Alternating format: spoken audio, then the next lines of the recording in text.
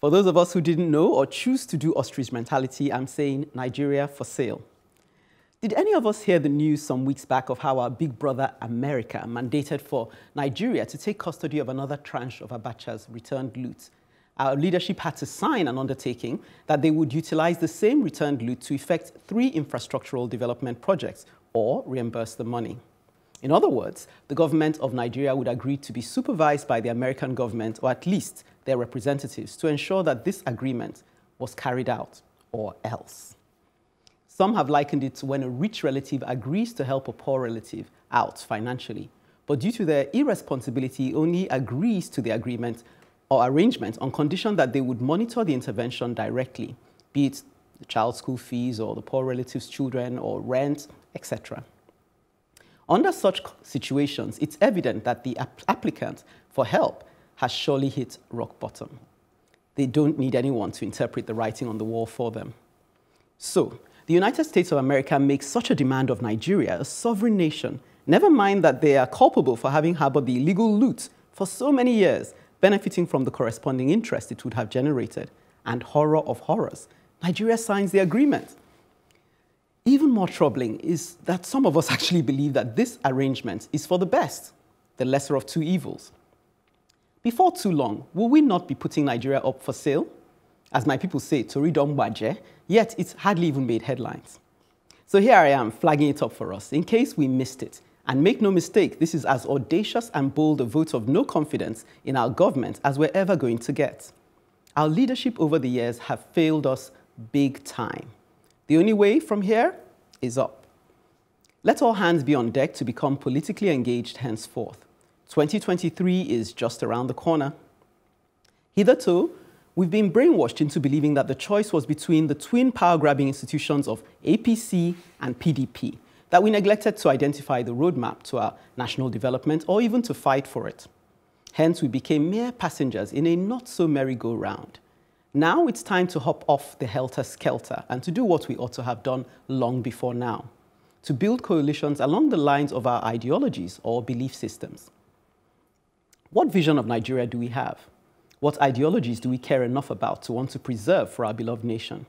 Such as the empowering of the people's voice, social welfare, inclusivity in decision making for women and the youth, an expression of tribalism that is complementary and not divisive, developing Afrocentric homegrown solutions, such as Chuka has been advocating for, to our challenges, restructuring our economy along regional lines, and so forth.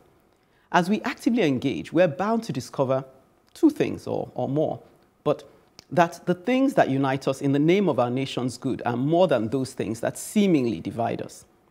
And ultimately, that the numbers are in our favor, since they that are with us are bound to be more than those that are against us. Yeah, well. Amazing stuff. Yeah. Um, I'll pick up from there because you actually spoke about, I'm hoping that the politics will help. Mm. Um, yeah, getting engaged politically. And I can tell you that building coalitions is incredibly, incredibly difficult. I always mock the youth that um, uh, if you want to build coalitions in politics, try and build a coalition on a WhatsApp platform where you are admin and you know you see the kind of fights that go on there. But it's it's great to really encourage um, our young people and uh, because we're more in number, like you said. Mm -hmm. I mm-hmm. mean, there's that cartoon that depicts um, the situation where you see a lot of people balanced on the edge. The leader is balanced on the edge. A lot of people are the ones standing on the plank on this side. All they need to do is just walk away, and that leader will, will yeah. fall off. Uh, will fall off. So, but uh, regarding the uh, U.S. Um, the funds, the, the, the, the, funny thing about Abacha loot is that uh, our current president used to say that Abacha did not steal money. Yes. And he actually also worked for Abacha as, well, why would he say that? as PTF, all right? but that's hate speech. Well, I don't know. I'm just stating a fact. He did say that Abacha did not steal yes, money. Yes, he said that. He said people are just lampooning mm. him. So I, I, don't know how he feels now no. when that all this money is coming. And then, of course, now we're now being taught be schooled like children to say you are better use this money. Look, like you rightly said, we've hit rock bottom. Mm. I'm hoping that something will give from henceforth. Uh, we tried our own luck in politics, uh, you know, in 2019. Didn't quite work out the way we thought. You know, maybe more. Don't worry, when people, I sell my oil well, I will yeah. Uh, sponsor oh. you. You know, so it's really very interesting, and it's a very terrible situation. You have given us the, you know, and again, you can see the, the front page of the Punch today says that the United, European Union is trying to review their visa policy for Nigeria. Oh yeah. my. You can see that um, the, they're ganging up against be, us. To be closing and, and they're even trying to change our... I'm just saying that at some point in time, we will not have a choice or to sit down and fight it out in yeah. this place. No, Nigeria, Barack Obama, when he visited Ghana, he said the solution to the problems of Africa lies in Africa. Um, the US today are world power because they sat down, fixed theirs. Yeah. And, and so it becomes attractive. You go to Dubai, they sat down and say, you know what? Instead of taking our oil money to go spend in the West, let's bring the West to us by mm. spending our oil money mm here. Mm -hmm. And, and so, here, what do we do? We take ours, we take it to these people. Like you said, they will house it, spend it, spend even they probably that money would have garnered more interest than the, than the actual itself, fund, yeah. and then they return the fund to you because they still want to play that big brother role. Yeah. You see, we are giving you this money, but we'll tell you how you spend it because mm. you are, you know, a developing nation. Mm. So the only lesson for us is look, this money instead of taking it out, let us use it here, spend it here, and then that's the only way nobody will detect to us. The problem is you find out our leaders, you steal so much, like Ato Ezeribe once said, they steal the one they want and the one they don't need. Mm. And then someday you ferry this money abroad, it becomes somebody else's money, it dictates to you how to re repatriate yeah, it. Yeah. It should be a lesson to our leaders. Abacha died, that is why we are still, still sending us money from the grave. the ones that are here, their money is with them, and yeah. some are in Switzerland oh, and boy. even in this America. And, and, and I, I, I wonder how they go to sleep knowing fully where that people are suffering around them, mm. and then the fund meant to all of us, they take it away, keep it somewhere, and it's not doing anything. They have no conscience. That's really all I have to say, because I don't know why anybody would continue to allow these things to, to happen the way they, they do. Kind of your advocacy for me was actually very, very sad. It, I, I looked at it and I thought, wow, you know, where are we really going to go from here. Um, Nigeria is for sale. I think Nigeria has actually been for sale for a long, They've sold long Nigeria time. for Probably sale. since sold, our yeah, sold. sold. I mean, you know, for a long, long time. And now I don't even know what we're selling to China, but sure, we're selling something. There's something no, China is buying, trying no, they are buying buy. a portion of Nigeria now. yeah. they didn't come to buy early, but they are buying the only portion. They're buying remaining. what's left exactly. Wow. Um, it, it's just too sad. I'm sorry. I have to be one of those people that you know what. I'm not so offended by this whole USA Supervise them. doing supervision because at least if it means we get three uh, complete yeah, projects gone out of it. Please, I will take that because it's rather than take nothing.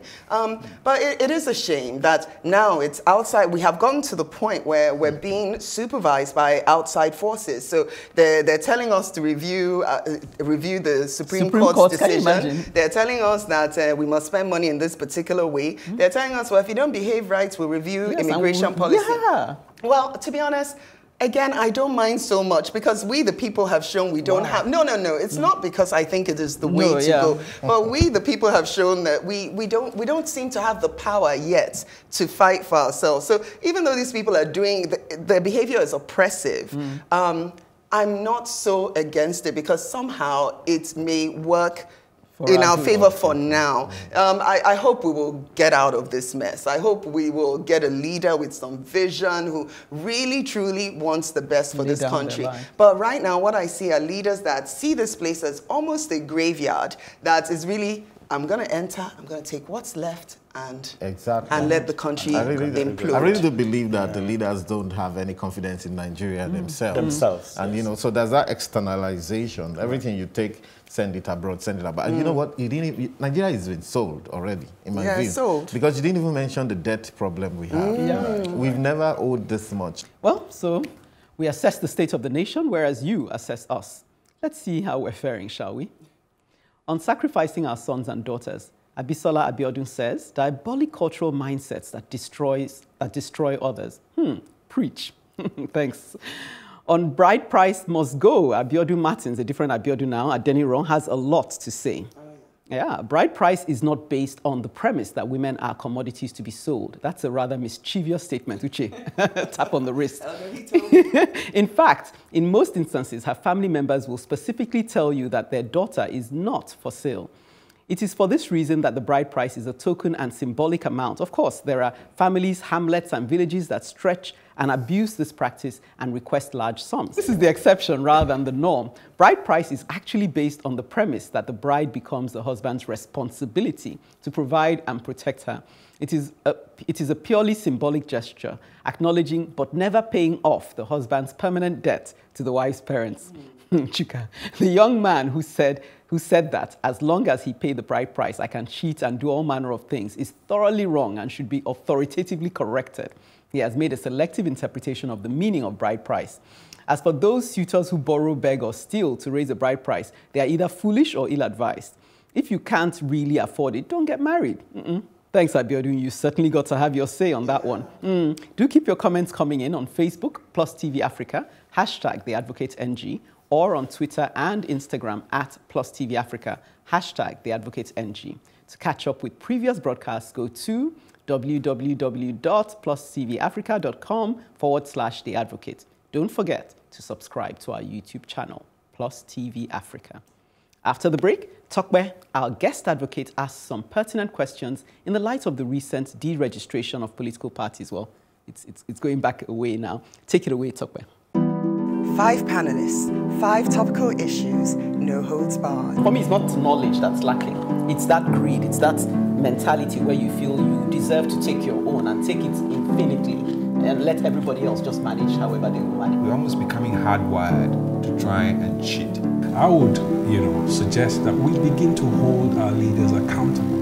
There was a time in this country when Yes. things actually work. I don't think that any organization should be above the law. And I think one of the challenges we have in this country is about governance across the board. What, what I'm saying is that it doesn't really affect us in Nigeria. That's It, really it does, it does, it does. It's the I- I don't know what we can do if the system is already corrupted. We've been warned as a continent of the influx of the Chinese. If you don't repay your debt, they will just colonize